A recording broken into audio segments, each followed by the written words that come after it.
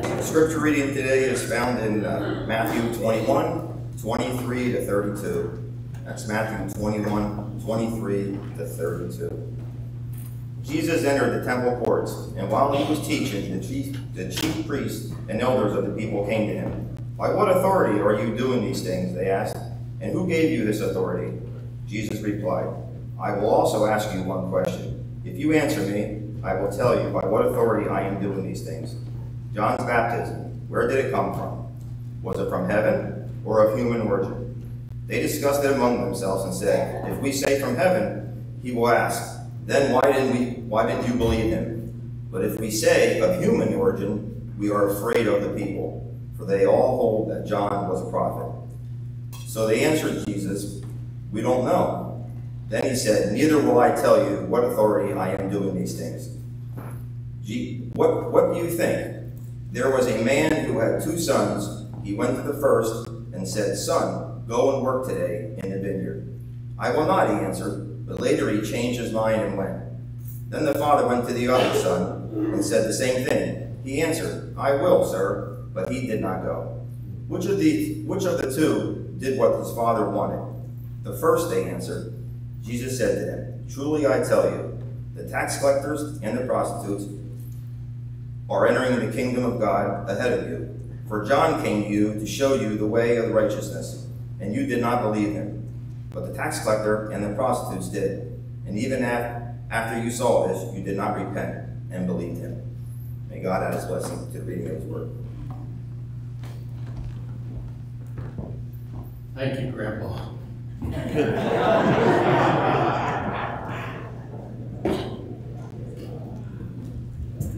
well, this week, uh, for the first time since last December, I went on a ride along with the Palmer Police. Uh, after Nancy was diagnosed, I just said there's certain things I just can't fit into the schedule, and that was one of them. And, and I told Nancy a couple of times, I don't know if I'm cut out for this, and every time I tell her, she says, but every time you come back, you're blessed, and you are a blessing. So I said, okay, I'm hanging in there.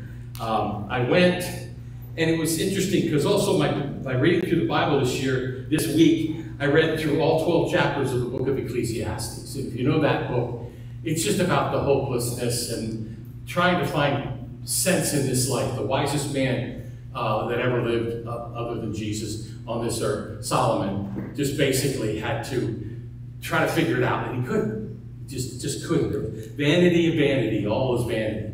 A vapor, trying to grab a hold of vapor. doesn't work. Well, as I think about all the books of the Bible, there's so much to take in, but Ecclesiastes does a great job and gives us a conclusion of what is going on there. Um, and we, we read it for our call to worship. Um, Ecclesiastes says, Here is the conclusion of the matter fear God and keep his commandments, for this is the duty of all mankind. When I read that by itself, uh oh, it seems like I got to work my way to salvation. Is, is, that what that's saying? No, it's not. Because then later in John 6, they, the people were talking to Jesus, What shall we do so that we may work the works of God? Jesus answered and said to them, This is the work of God, that you believe in him whom he has sent. Well, today we're looking at the authority of Jesus. This is the last week of Jesus' life on earth before the cross. And uh, there's a number of times, uh, actually, this Matthew puts this right after Palm Sunday. Uh, probably day two. It probably was Monday, maybe Tuesday that this happened. I don't. It's hard to always figure that out. But but um, Jesus cursed the fig tree as a kind of a private sign that the children of Israel had been fruitless. They were not going to accept him, and they were going to be cursed. And we've seen many ways that the Jewish people are still under that curse but he's going to restore them. He is going to restore them, but until then, it, it's hard. Well, Jesus is challenged in today's passage, and then in two weeks, we'll see how they test him. It's like the debate's coming up, everybody's talking about the debate. You know, get, get that gotcha question. They hit Jesus with a whole bunch of gotcha questions. Well, being the Son of God, not a problem. He had no problem answering each of their questions. And, and he turned it back on them. And, and so what we'll see today is the beginning of that. Matthew adds something in between. Matter of fact, right in the middle of the questioning of his authority And the testing of his, him, he talks of a parable, which we'll talk about next week, which is his invitation. He is always inviting us to come. No matter how well, how poorly he is treated, he is inviting us to come.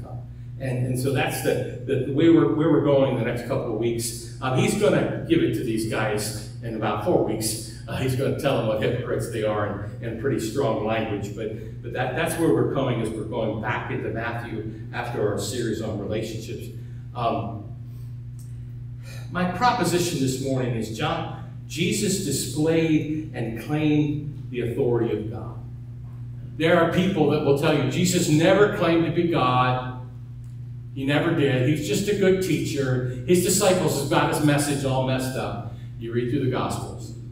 He did it by his actions, he did it by his words. And today we're going to see how his words and actions uh, display his authority and claim the authority of the one who was sent by God. So we're going to look at that. Um, and uh, let me pray before we go any farther and look into God's Word. Father, we, we just so thank you for the written word that has been given to us to teach us about the living Word, Jesus Christ. Uh, we, we see Jesus throughout the Bible, but most clearly in the Gospels. And we thank you for this interchange that he had, this exchange of the, the dialogue with the religious leaders, the chief priests, and the elders. And I pray that we would just get a sense of where would we be where would we be if we were there watching Jesus? The miracles were done, the teaching was one with authority, everybody acknowledged it was authoritative teaching.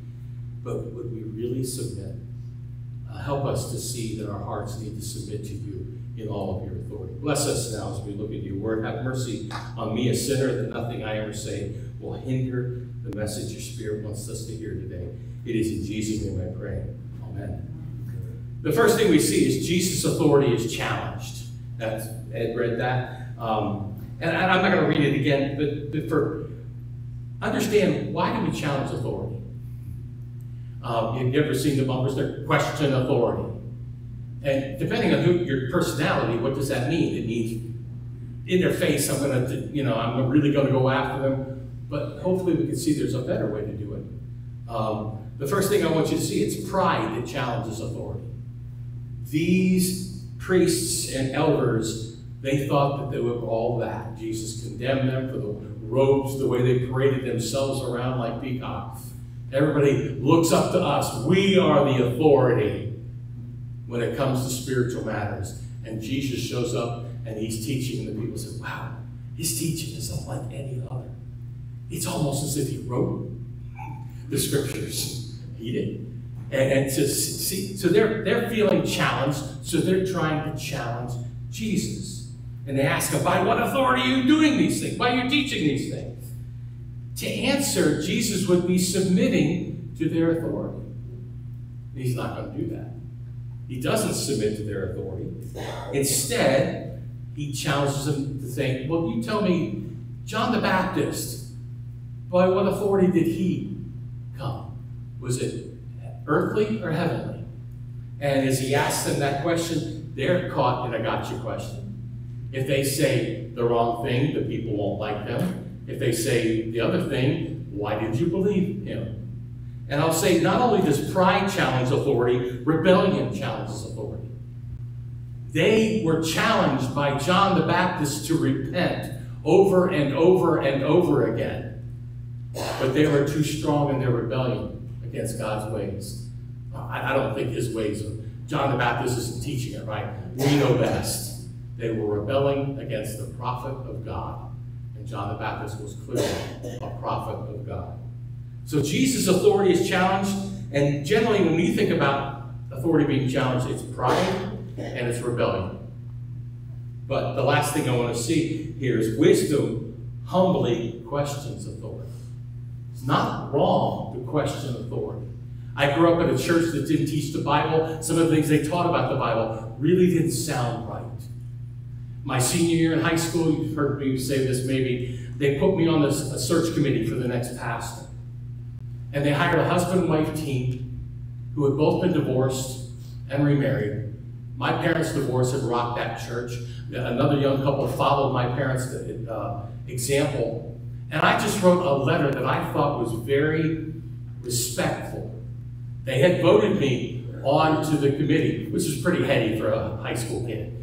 And I'm on the committee that's going to pick the next pastor. Um, but then we didn't pick him by the time I went to college, so I wrote a letter after I heard their choice. And I said, Is this the best fit?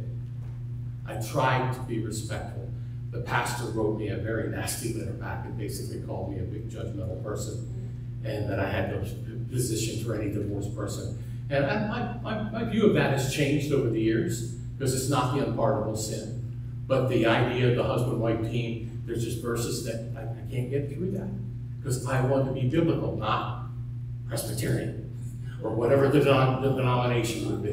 I want to do what the Bible has to say. So I tried to question authority in an appropriate manner. Doesn't mean they're always going to hear you. And, and that's what we see uh, in this first exchange with Jesus. Now, if I were Jesus after I said, Well, then I'm not going to answer your question, I said, All right, oh, it's over. I have better things to do. He continues the conversation with them because Jesus' authority is gracious. He is willing to show grace to them, even though they're planning to kill him at this point. Not only kill him, they want to kill Lazarus, whom Jesus raised from the dead, because he's a sign that Jesus really was something. This is what these guys are thinking. We're going to kill Jesus, we're going to kill any sense of what he has done. They didn't. I mean, they killed Jesus, they didn't get Lazarus, thankfully. Um, but Jesus is still, in all of his authority, is being gracious to them. So he tells them a story. He wants them to hear, he wants them to think. And the verse 28 is where that begins. He engages his enemies. He says, What do you think? A man had two sons. He went to the first and said, and, and read the story. You go work. And he said, No. But then later he did. Second son, Yeah, I'll do it. And then he didn't. Jesus graciously engages his enemies. You feel like you have enemies? You've had people that, that as you walk by them, they're not happy with me. Can you find a way to graciously engage them? Jesus demonstrates it here because he has nothing to prove. All authority has been given to him.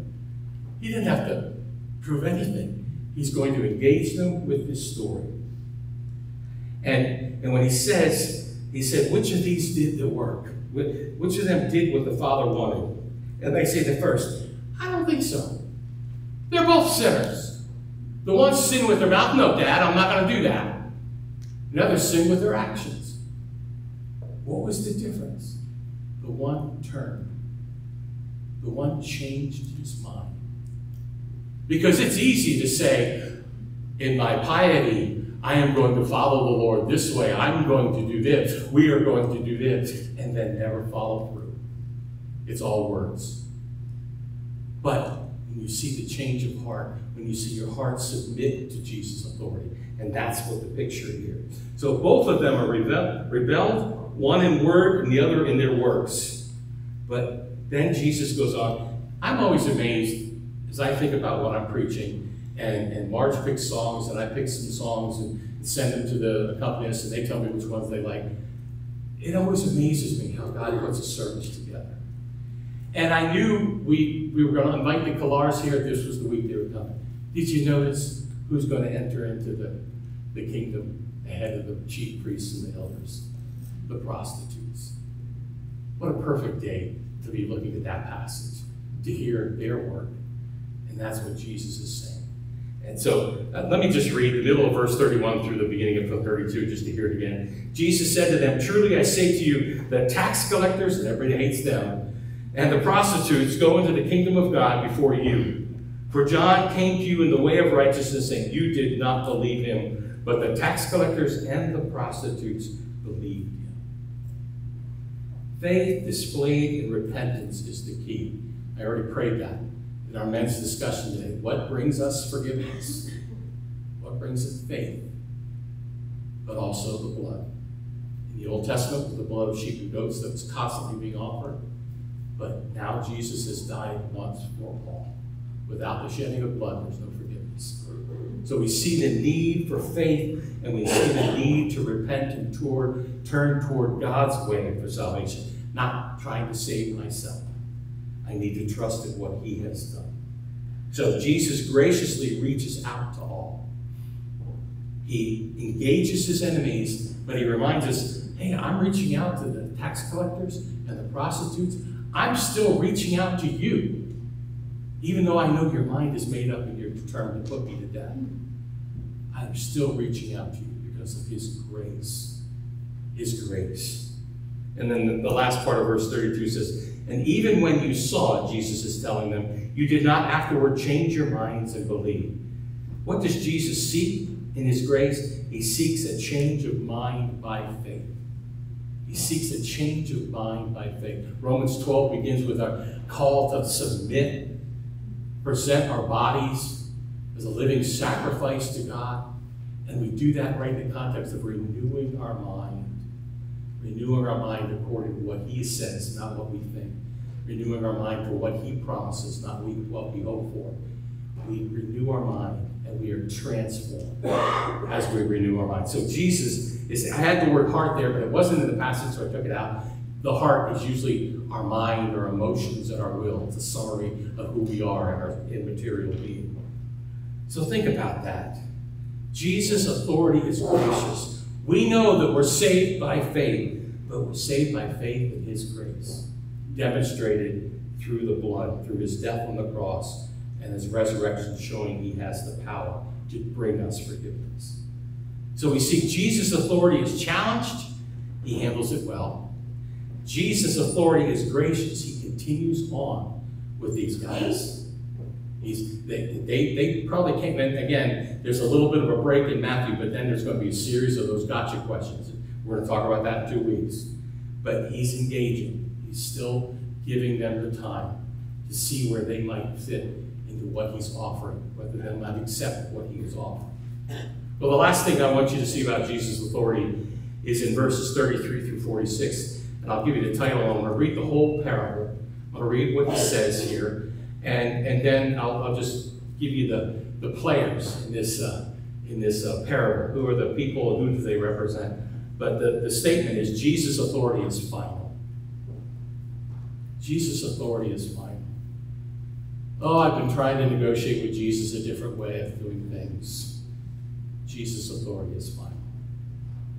I, I was thinking about that last week when we talked about the, the stages of grief and how you move with, from anger to try to, to, to bargain. And I, think I get stuck in the bargain angry, the angry bargaining stage. And not till I accept it's not going to change. You've got to learn to accept what is going on around you. Um, so Jesus' authority is final. That's kind of where we're going listen to the verses 33 through the end of the chapter, verse 46, as I read. Jesus said, Hear another parable. There was a master of a house who planted a vineyard and put a fence around it and dug a winepress in it, built a tower, and then leased it to tenants and went into another country. When the season for fruit drew near, he sent his servants to the tenants to get his fruit. And the tenants took his servants, beat one, killed another, and stoned another. Again, he sent other servants more than the first, and they did the same to them. Finally, he sent his son to them, saying, They will respect my son. But when the tenants saw the son, they said to themselves, This is the heir. Come, let us kill him and have his inheritance. And they took him and threw him out of the vineyard, vineyard and killed him. When therefore the owner of the vineyard comes, what will he do to those tenants? They said, And he will put those wretches to a miserable death and let out the vineyard, let, let out the vineyard to other tenants who will give him the fruits in their seasons. Jesus said to them, Have you never read in the scriptures? The stone that the builders rejected has become the cornerstone. This was the Lord's doing. It is marvelous in our eyes. Therefore, I tell you, the kingdom of God will be taken away from you and given to a people producing its fruits. And the one who falls on this stone will be broken to pieces. And when it falls on anyone, it will crush him. Then the chief priests and the Pharisees heard his parables, They perceived that he was speaking about them, and although they were seeking to arrest him, they feared the crowds because they held him to be a prophet. That's a pretty clear story when you think about, but making sure we understand what it represents. God is the master. God the Father is the master. He is the creator of all. And He didn't just say, hey, go try to make some money, uh, find some vines. He set the whole thing up. Our master is the creator of this beautiful earth. And all we do is trounce on it. you know, the different ways that we don't acknowledge that He's the creator. Um, he, he, set them all up. I mean, I, we were over in, in Nazareth when we went over to the Holy Land, and, and they showed us a, a place in Nazareth where they had a, an example of what this would look like. I don't think they had the tower. The tower really shows it's there so they be defend the thing, they can see any trouble that's coming from afar off. There's just a, it's, it's, it's well set up. God created this earth in six days, and He took a rest, and He invites us into that rest to trust Him. Um, so, God is the master. The children of Israel are the tenants. I was just listening on the way here. They were talking. It's a religious show, and I kind of catch what they're talking about. There, there's a out, there's a group out there that wants to create a one religion between and, and combine all of the religions that came out of Abraham. That would be the Jews and supposedly the Muslims. They're not really descendants of Ishmael, but they claim it. And then, of course, Jesus. Um, and so they want to put it all, and basically, they think all religions are alike, so let's just put them together and maybe everybody get along. There's just so many things wrong that assumption. But, but the fact is that children of Israel have a high responsibility because they have been given the law and the promises prophets. They've been given so much. And when they rejected Jesus, he came into his own, they did not receive him. When they rejected Jesus, they incurred on them a, a rough judgment. Moses promised it in Deuteronomy. I'm going to keep sending you messengers. I'm going to keep sending them to you. And the more you, the more you don't listen to them, the greater the difficulties be. After these, these messages that I've already told you about, we're going to be talking about end times. Jesus talks about the tribulation uh, from the perspective of the Jews, not the perspective of the church. Church hasn't been revealed yet actually, it might be a little revelation. I will give this vineyard to someone else, to others who will bring forth fruit. But, but this idea, the children of Israel, God's not done with them. He loves them. Paul, who was a, messenger to the Gentiles, his heart broke for his people, the Jews. He said, I would, I would be willing to be accursed if my, if my Jewish family would, would come to know the Lord. So God is the master, the children of Israel are the tenants, the Old Testament prophets are the servants. God sent Old Testament prophets. Moses was considered a prophet. He gave the law. We see Samuel, who kind of got the, the uh, period of the kings started. He anointed Saul and then anointed David, and he kind of the, the prophet that helped that. But then in the book of Kings, you see the two powerful prophets that came, Elijah and Elisha, who came with many miracles to say, okay, God saying, I'm working through prophets now, guys, you should listen to them. They're clearly from me because of the miracles I'm, I'm showing you that showed that they're my, they're my spokesman. And then I remember when I first decided to preach Isaiah, which is a pretty long book, I broke it up, I think. But I, I remember the first time, as I was in the middle of that study, every time there's a message of judgment, very soon there'll be a message of hope. There's going to come a time when there'll be no more hope. The rejection of Jesus will be final. But until then, you can accept it. You can respond to it. And then we've got to Jeremiah, which is even darker. Even darker. Still, there's hope throughout that. that Jeremiah wrote Lamentations, the great middle part of that book on weeping. Great is thy faithfulness. Your mercies are new every morning. There's hope. As long as God's sending the messengers, there is hope. But these people, the children of Israel, they mistreated the prophets. We think Isaiah was sawn in half, put him in an log, and we saw him in. They're just different ways that they mistreated the prophets. So Jesus is telling this story, and he's calling, and of course these guys probably thought, well, if we'd have been in charge, then we wouldn't have done that. They're in charge, supposedly, when the son was given. And they did it. They put him to death. To, to think about how the Old Testament prophets are the servants of God, and, and I just want to ask you sometime today or this week, take a moment and think about all the people that were God's prophets to you. They don't have to be called a prophet. Who are the ones that told you the truth? Who are the ones that helped you? You know my story, my spiritual mom at Bible Club, my, my camp days, all the camp counselors and, and, and the uh, camp directors that I work with. And then just going on from there, there are just many places, professors in college, find good professors, not all of them had good advice. And then find good friends.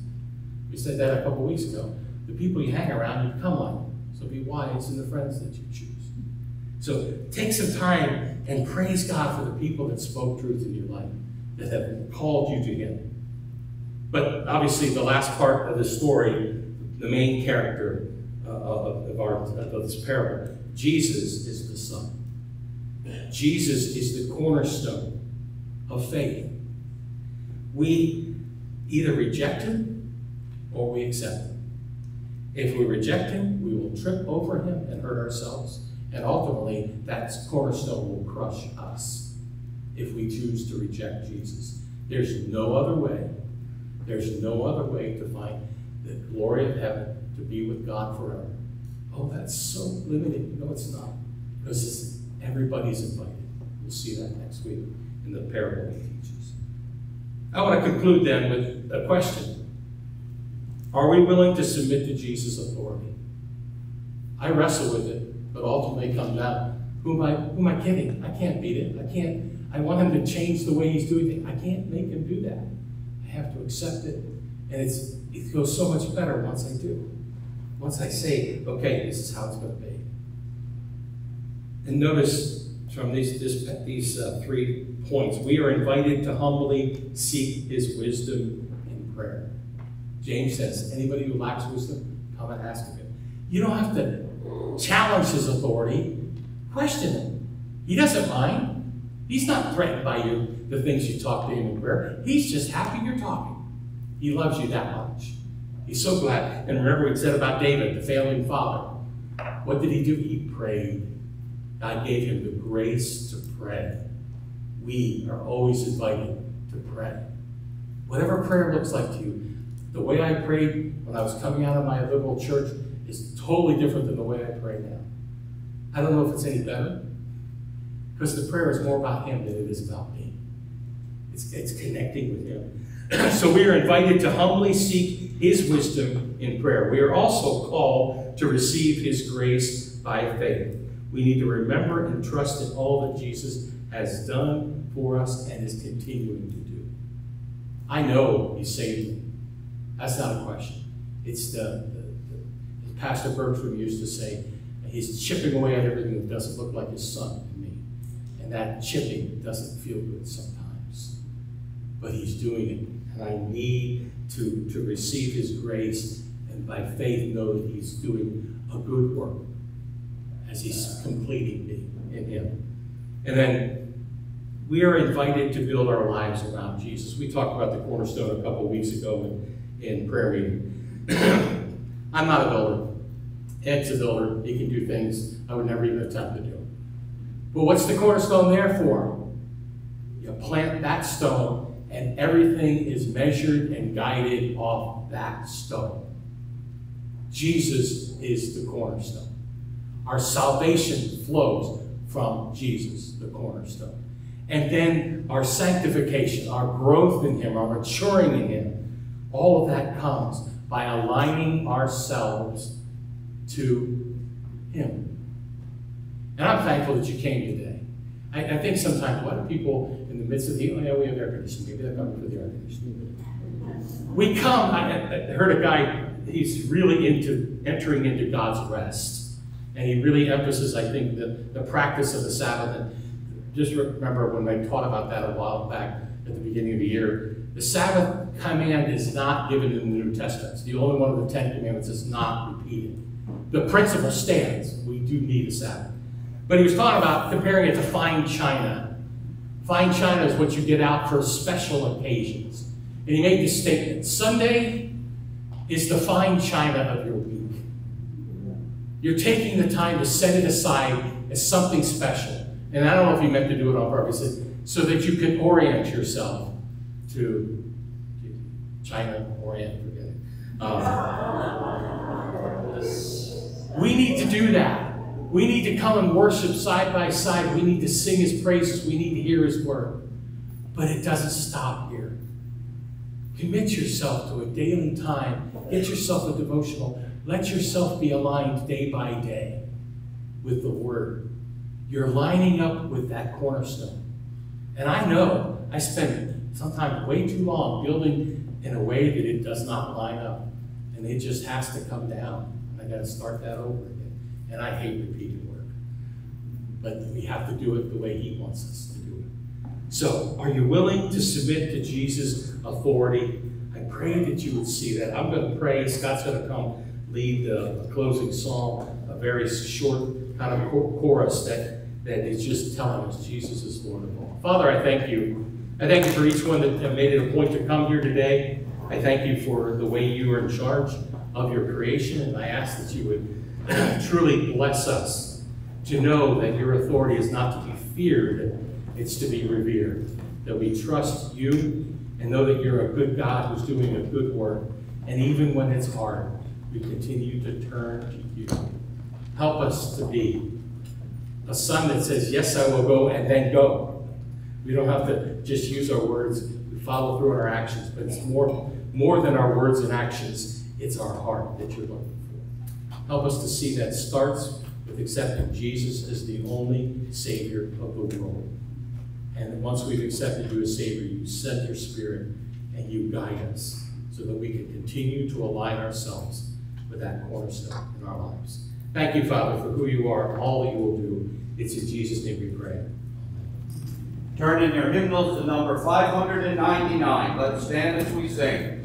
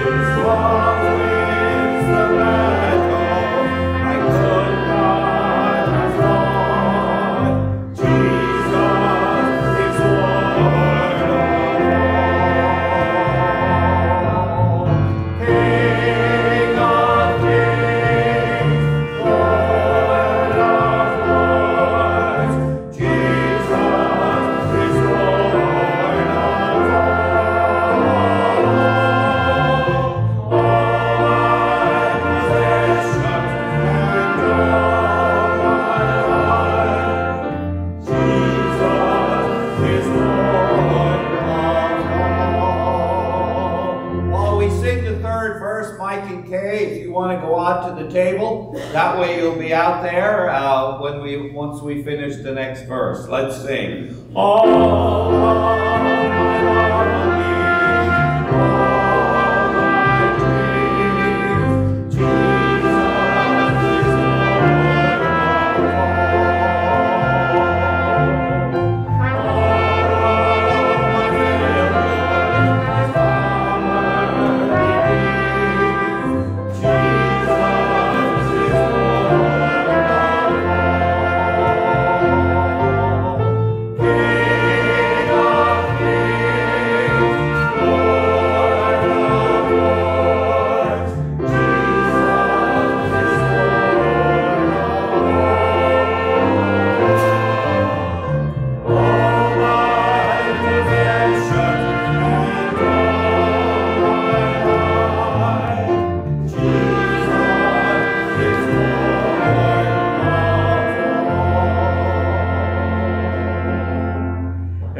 To him who is able to keep you from stumbling and to make you stand in the presence of his glory, blameless with great joy. To the only God, our Savior, through Jesus Christ our Lord, be glory, majesty, dominion, and authority before all time and now and forever. Amen.